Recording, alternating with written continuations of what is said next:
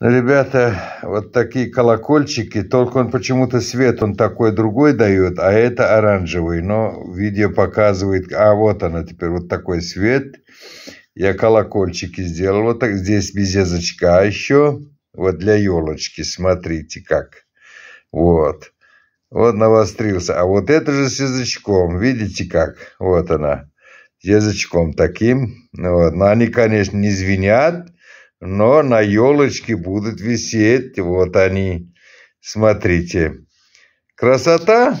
Вот. Я же сказал вам, и Деда Мороза можно, и Снегурочку. Это крючком. Вот, это крючочком, короче, не спицем, а крючочком. Вот смотрите, легко и просто. Вот сюда язычок надо внутрь.